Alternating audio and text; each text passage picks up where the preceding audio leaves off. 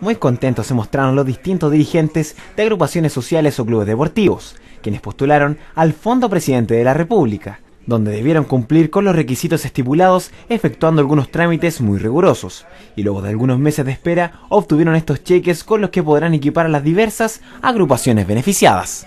En una amena ceremonia en la que participó el gobernador provincial Mauricio Araneda, la diputada María José Hoffman y el concejal Danilo Rojas, además de los distintos dirigentes, se hizo la entrega de los cheques destinados a las agrupaciones, como por ejemplo los clubes deportivos Unión Santo Domingo o el Club Deportivo San Juan, quienes destinarán los fondos en implementación deportiva. Bueno, nosotros postulamos por un monto de 200 mil pesos, que son para implementos deportivos para los tercera y segunda infantil de Club Deportivo San Juan. Un beneficio bastante importante para todos estos niños de, de, ese sector de San Antonio. Ah, sí. Es todo lo que lo va a servir esto porque es difícil de juntar fondos para poder comprar a los niños, que sea lo más que el club trabaja es para los niños y es difícil tener fondos. Fueron siete agrupaciones quienes se mostraron muy felices con estos fondos, como los que beneficiarán a la Junta de Vecinos Villamar de Chile de Barrancas quienes destinarán los fondos en implementación para su sede. Estamos contentos porque eso nos permite eh, equipar nuestra sede, que es lo que queríamos.